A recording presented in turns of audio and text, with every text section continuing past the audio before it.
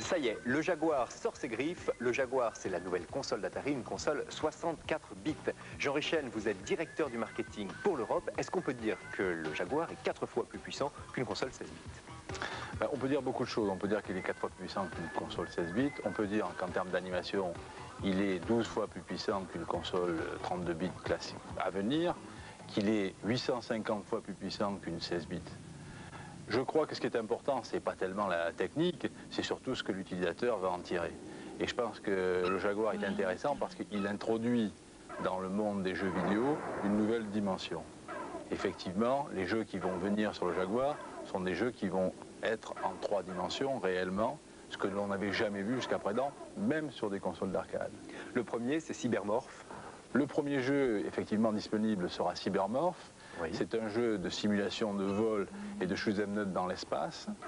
Euh, vous allez pouvoir découvrir effectivement les capacités de la machine, puisque euh, le joueur est un pilote euh, de, vaisseau spatial qui va évoluer dans différents univers, où il aura affaire à différents types d'ennemis, des ennemis au sol, des ennemis en vol, des ennemis dans les montagnes, des ennemis dans les, eaux, enfin c'est très très varié, et il y a neuf planètes, et il y a, je crois, 14 niveaux.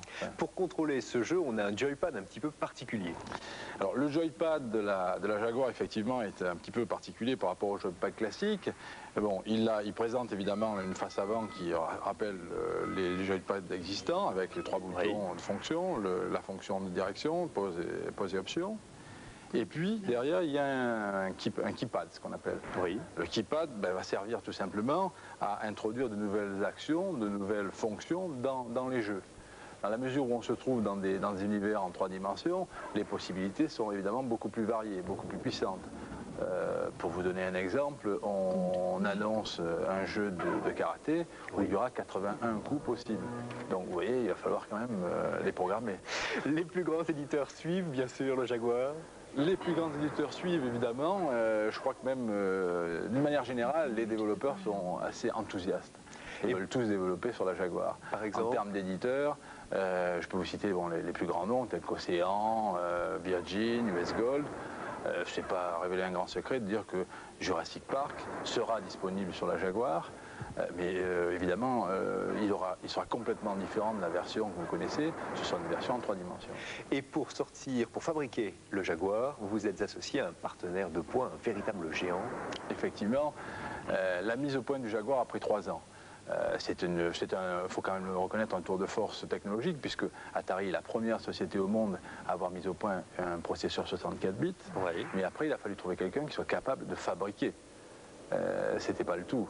Et euh, la seule société qui soit arrivée à réaliser ce tour de force, ben, c'est IBM, tout simplement. Donc IBM pour Atari, Atari qui revient donc en force dans l'univers des jeux vidéo, un univers qu'il a créé, puisque c'est Nolan Bushnell qui, en 1972, je crois, a créé le premier jeu vidéo, un jeu qui s'appelle Pong. Et d'ailleurs, il a eu quelques problèmes quand il a sorti son premier jeu. Oui, absolument. On fait référence à une histoire qui, court dans la profession. Euh, Nolan avait mis au point son, produit dans son, garage, euh, comme beaucoup d'Américains à l'époque. Et puis, euh, il veut le tester, donc il s'adresse à un de ses camarades qui avait une un snack bar, il installe le produit dans son snack bar, et puis au bout d'une semaine, son copain le rappelle, il dit écoute, ramène-la parce qu'elle est toujours en panne, ta machine, euh, j'en ai vraiment assez. Il reprend la machine et il la démonte pour voir ce qu'elle n'est pas. Et il s'aperçoit que la machine marchait très bien, mais qu'il y avait tellement de pièces de monnaie à l'intérieur que ça avait bloqué le système. Le prix de la, de la console? Alors le prix de la console est de 1790 francs. Elle est livrée avec le jeu Cybermorph et la, commande, la, commande, la manette de commande.